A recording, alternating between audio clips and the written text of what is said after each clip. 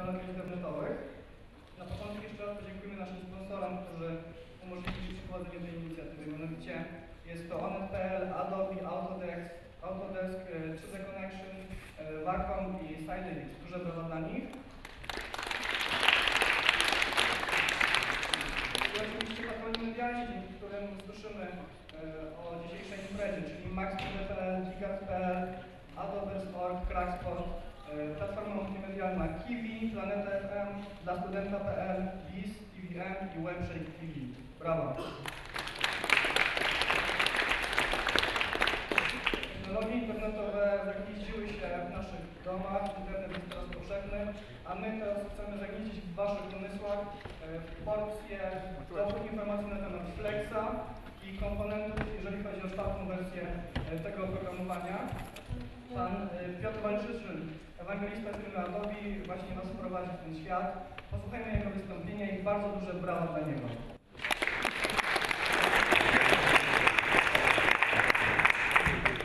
Miłego wykładu. Witam Państwa serdecznie. E, Nazywam się Piotr Walczyszyn, jestem ewangelistą w firmie Adobe. Zajmuję się technologiami Flash, Flex, R.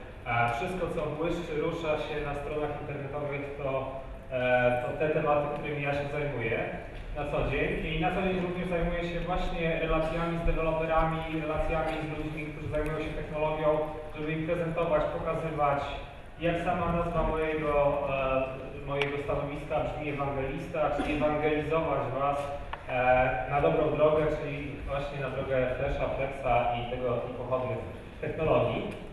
E, Coś więcej na temat dzisiejszej prezentacji Design in Mind. Jesteśmy na konferencji ArtBus. E, Rozumiem, że konferencja ta ma łączyć trochę e, świat technologii z światem multimediów, grafiki, wszystko właśnie co błyszczy, co wygląda, co ma ten aspekt wizualny, no ale jakby w sensie samych technologii. Więc ja dzisiaj chciałem Wam powiedzieć właśnie o nowej całej architekturze komponentów, całej no, architekturze tak naprawdę i rozwiązania, które wchodzi w skład technologii Flex, e, która pozwala właśnie definiować i e, tworzyć bardzo zaawansowane, ciekawe efekty wizualne czy komponenty wizualne, które później możemy wykorzystywać w naszych, e, w naszych aplikacjach, które tworzymy, w naszych aplikacjach internetowych, które tworzymy. Zanim zacznę, chciałbym się dowiedzieć, kto z Państwa na sali uważa się za programistę. Niezależnie jakiego języka. Ręka do góry. No jest nieźle. A za grafika, designera, okej, no tak powiedzmy 60 do 40. Nie jest źle, więc y, to też daje mi, że tak powiem, poczucie tego, jak mam kierować dzisiejszą prezentacją a, i o czym, na czym powinienem się bardziej skupić. E, jeszcze parę słów o mnie, tak jak powiedziałem, nazywam się Piotr Balczyszyn, jestem ewangelistą w firmie Adobe. Jak chcecie mnie znaleźć, to przez mojego bloga riaspace.net albo na Twitterze twitter.com Walczyszyn. Mm. Zresztą dzisiejszy kawałek prezentacji będzie na temat samego Twittera troszeczkę, więc może też ci, co nie używają, e, zaczną i e, no, tam się spotkamy. Dobrze, zacznijmy na temat Flexa, bo w nazwie było Design in Mind, nowe komponenty, ale co to jest ten Flex? Ręka do góry te, te osoby, które wiedzą, co to jest Flex. O kurczę. A e, ręka do góry ci, którzy popełnili coś we Flexie.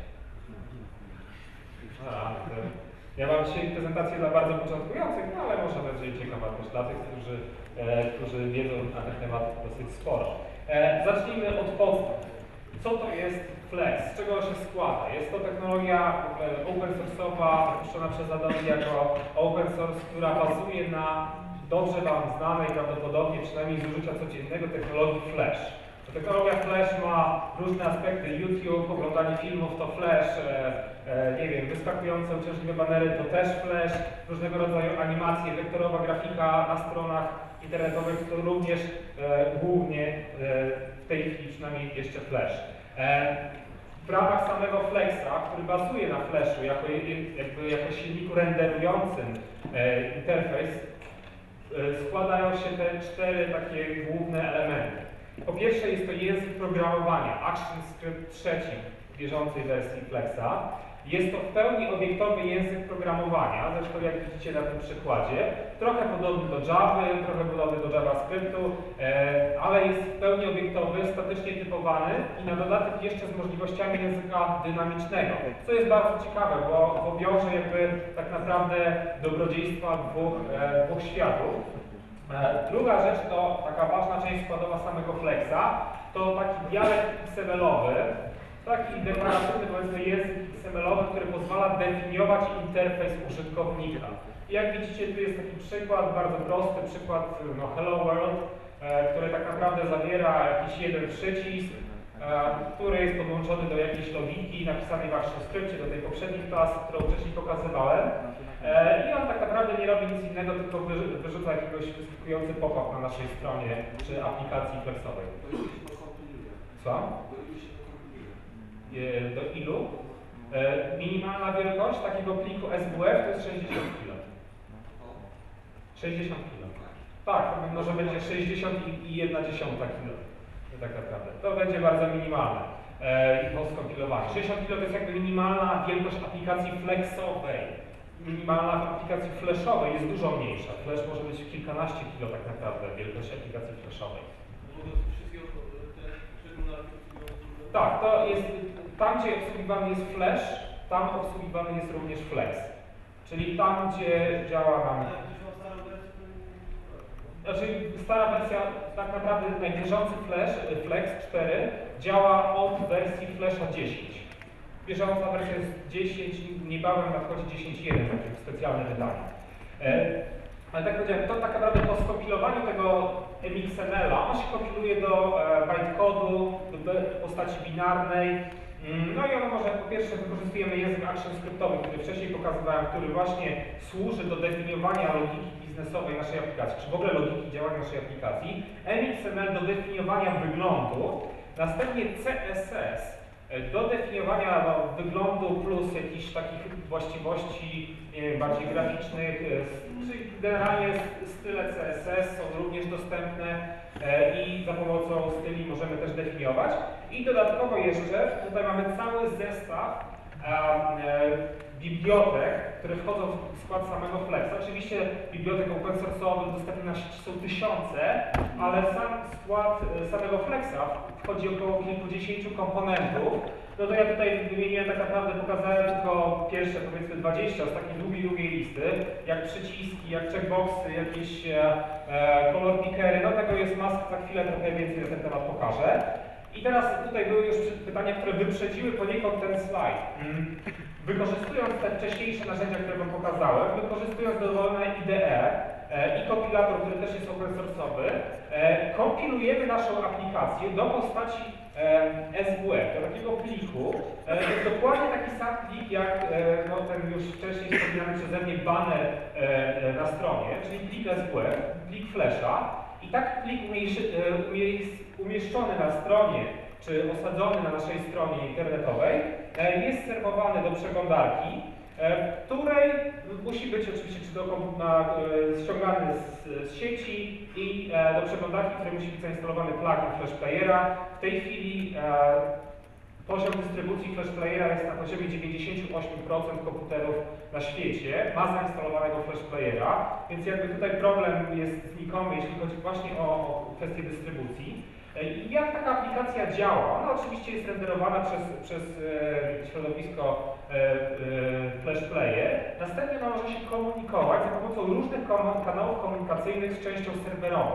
I tutaj mamy możliwość komunikacji po SOAP-ie, po zapytaniach HTTP, takich restowych, również za pomocą takiego binarnego protokołu e, formatu AMF, który pozwala e, serializować obiekty action skryptowe e, i po stronie serwera deserializować je w postaci natywnej e, serwerowej części, czyli chcemy e, po stronie mieć, nie wiem, javowy serwer, one będą zdeserializowane jako obiekty e, javowe. Jeżeli chcemy mieć PHP serwer po stronie serwera, one tam będą odbierane jako e, obiekty PHP-owe, no i wysyłane również jakby w PHP i deserializowane po stronie przeglądarki już do postaci ActionScriptu. E, Do tego są specjalne adaptery do właśnie różnych środowisk, do Java, do PHP, do .NETA, do Pythona, do Rabiego. Do wszystkich tych środowisk są dostępne biblioteki, które pozwalają nam właśnie na taką binarną e, e, deserializację i serializację. I tu ostatni jeszcze jest RTMP, to jest bardzo ciekawy protokół e, Real Time Messaging Protocol, protokół, który pozwala mieć w pełni e, dwukierunkową komunikację klient-serwer, czyli inicjowana komunikacja z serwera do klienta, a nie na zasadzie data poolu, odświeżanie co jakiś tam interwał czasowy i ściąganie, sprawdzenie, czy coś nowego się na serwerze pojawiło. Nie. Za pomocą tego protokołu można strzelić z, z serwera, no oczywiście no wcześniej połączonego, ale y, bezpośrednio strzelić do, do klienta, do jego przeglądarki i tam coś wyświetlić, zareagować w jakiś sposób. No i oczywiście tu po stronie serwera, no to już łączymy się z naszą infrastrukturą za pomocą tych natywnych języków, czy to z bazą danych, czy z innymi e, źródłami. I to był Flex działający w przeglądarce. Do tego jeszcze działający w przeglądarce w Flash Playerze. Do tego jeszcze stworzyliśmy takie środowisko też uruchomione o nazwie E, które pozwala wziąć dokładnie tą samą aplikację napisaną we Flexie, Flashu, bądź też nawet w czystym HTML i JavaScriptie i skompilować do takiej natywnej paczki o rozszerzeniu E i uruchomić taką aplikację na desktopie jako natywną aplikację. Czyli my jako programiści stron web developerzy dostajemy za pomocą tego środowiska E narzędzie do tworzenia aplikacji również desktopowych tymi samymi narzędziami, które wykorzystujemy na co dzień do, do tworzenia aplikacji webowych.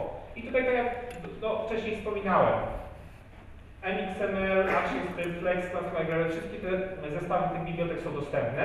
One są nawet jeszcze rozszerzone dla tej wersji desktopowej, bo desktopowa e, wersja ma możliwość integracji lepszej z, z systemem plików i tak dalej, i tak dalej. Nie ma problemu przy kompilacji y, z Windows.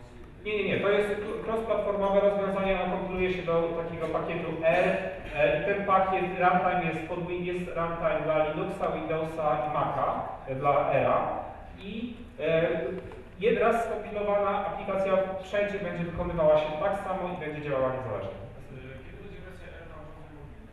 E, niebawem. Ja już na swoim Nexusie mam zainstalowanego Era na urządzenia mobilne.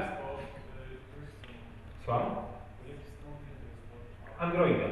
To- Pierwszy będzie Android. Y, W tej chwili pracujemy nad Androidem. Będzie dostępna możliwość właśnie kompilacji, uruchamiania tych aplikacji na urządzeniach mobilnych. No niestety nie mogę zdradzić e, szczegółowej daty, ale powiem tak, w, tej, w półroczu. I tutaj ta aplikacja, która działa na desktopie, ma dokładnie takie same możliwości integracji z, e, ze środowiskiem serwerowym. E, Komunikacje po HTTP są. Ona dla serwera wygląda tak, jakby to była aplikacja również uruchomiona w przeglądarce. Ona też może trzymać sesje. Tego typu e, mechanizmy są dostępne dla tej aplikacji desktopowej. E, Ale to co ważne, aplikacja desktopowa dostaje dodatkowe API, które ma możliwość połączenia się z systemem plików, ma budowaną bazę danych SQLite, e, ma możliwość jakiejś takiej bogatej notyfikacji o jakichś zdarzeniach, wyskakujących pop-upów, e, no i pełną integrację z clipboardem. To jest, to jest drugie środowisko obok samego Flash Playera, który pozwala nam uruchamiać aplikacje na desktopie. Pokażę